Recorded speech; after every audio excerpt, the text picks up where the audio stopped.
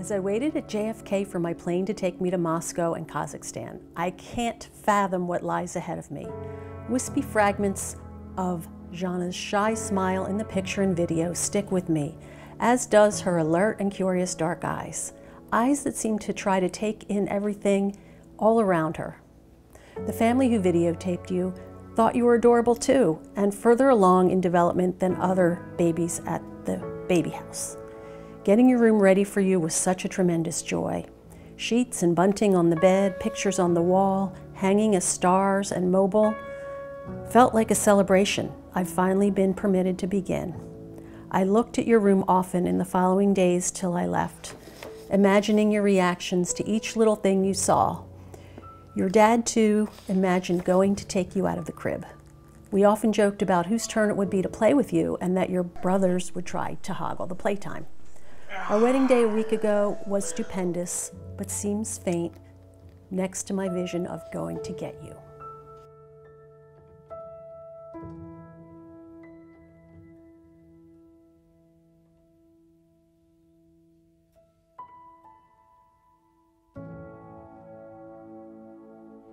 So um, the taxi driver Yuri drove us, all of us families, um, over to baby house number one.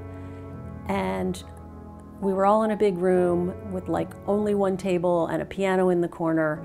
And they brought the babies in one by one. And when I saw Zhanna, I was ecstatic. My eyes lit up. She looked scared, sad.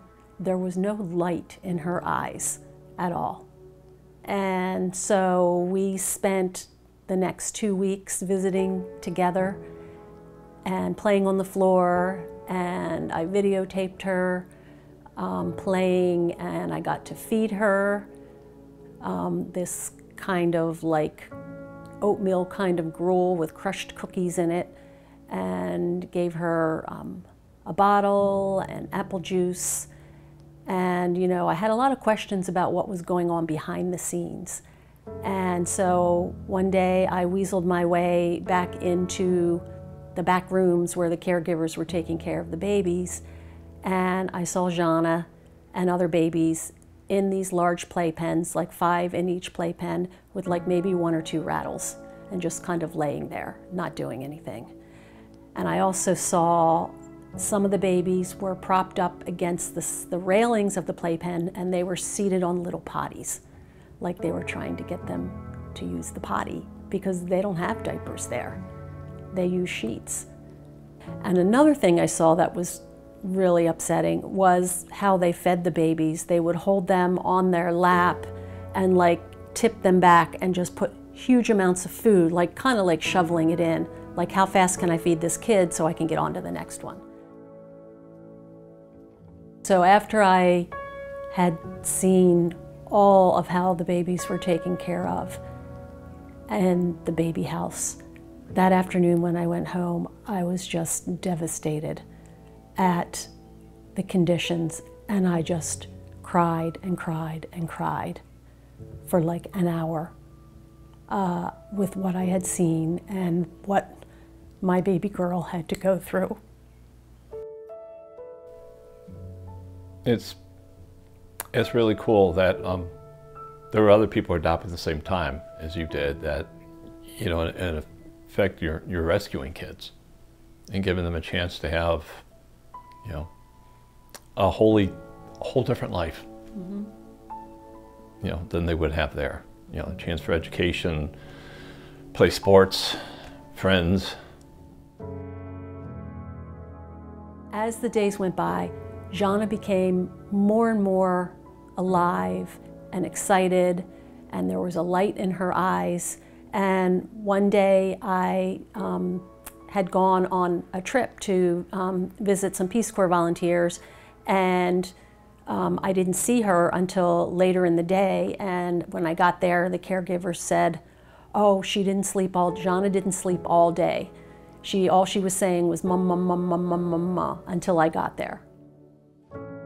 So the big day came October 28th, 2002, and I had to go to court. I was extremely nervous because I was going as a single person and I did not know what questions they were going to ask me. Outside waiting to go to court, where I will get to say that I want Zhanna, and they will get to say, yes, you can take her home.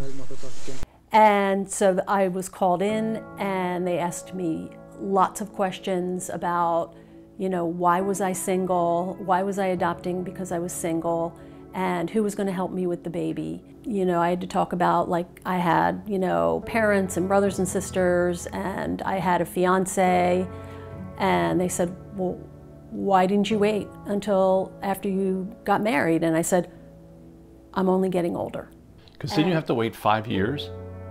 I thought you had to be married for five years. Some programs were like Some that. programs yeah, I don't think this one. After all of that, they finally approved the um, adoption. Then when I left, I got to go and visit Zhanna one more time in the baby house. I didn't take you home that day. They said, no, you need to wait until the morning because it was late in the day already. The next day, they brought Zhanna to me.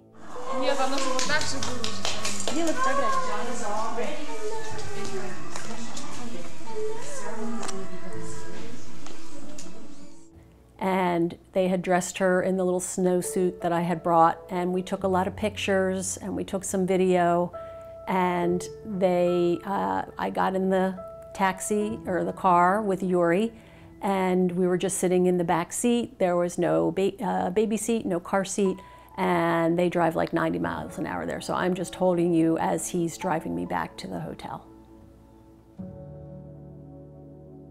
And I, I can remember the proud moment I felt when the customs officer said, as soon as she goes past that white line, she's an American citizen. Yep, that was super cool. That was super cool.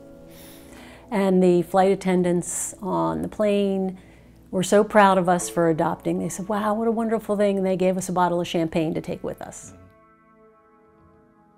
So, you know, I remember when we got in at, at two in the morning, there was at least half a dozen messages on the answer machine from my um, from Zhanna's new brothers, Matt and Dan. And uh, they just kept wanting to know, are you back yet? Are you back yet? Because they wanted to come and see their, their sister. Um, and actually, um, I've always been so proud of them how they always, always called her their sister. You know, Dan and Matt never thought of her as a, a stepsister or anything else. You know, I'm just proud of that. They always thought, this is my sister.